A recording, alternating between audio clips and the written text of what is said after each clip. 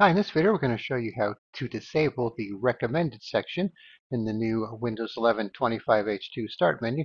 So if you click on start and you notice you have this new start menu with the categories here that you could do things such as change to grid, which kind of puts them in alphabetical order, or you could change it to list, which kind of lists everything all in one place since we don't have an all button up here any longer, which is not necessarily a good thing. And then you could also do things such as show all or less of your pinned apps.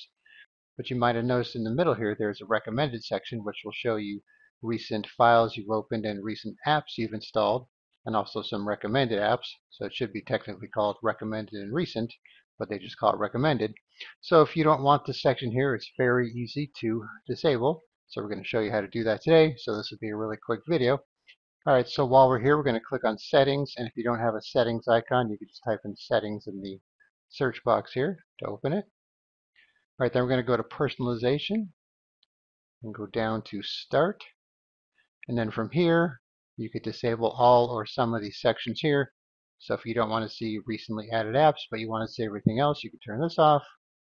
And then if you don't want to see the recommended files, then you could turn this off here.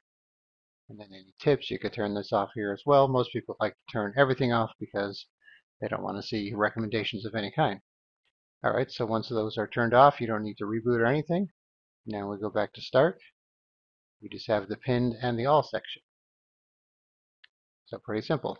And then of course if you want to turn them back on, just come here, turn them on. But you might notice that there's nothing here until you start opening some files, then we'll start adding them back. It's not necessarily going to put the original recommended files and apps that were there before you disabled it back in place. Alright, so once again, settings, personalization, start, and then turn whichever ones of these you don't want to use off, or most likely all of them, and that's all you got to do. Alright, thanks for watching, and be sure to subscribe.